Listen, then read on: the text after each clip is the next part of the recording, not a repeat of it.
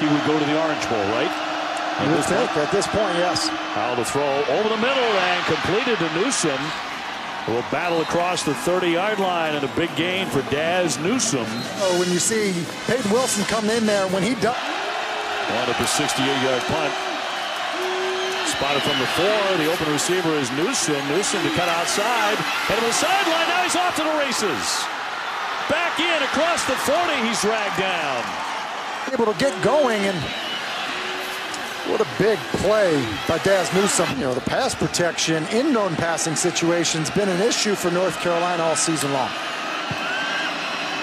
He'll throw again. Short once again. A missed tackle as Dazz Newsome stayed up. Eight seconds to go in the second. Howell out of the gun. Looks over the center. Complete to Newsome. You know, Sam Howell continues to impress. They overload left side. He'll drill that for the end zone and a touchdown. Newsome. Dazz Newsome with the catch.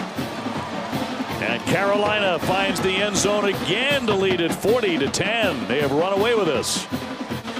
They have been impressive. And Sam Howell's going to pump the wide screen and then just quickly get himself recoiled to shoot that ball down the seam before the free safety can get over the top.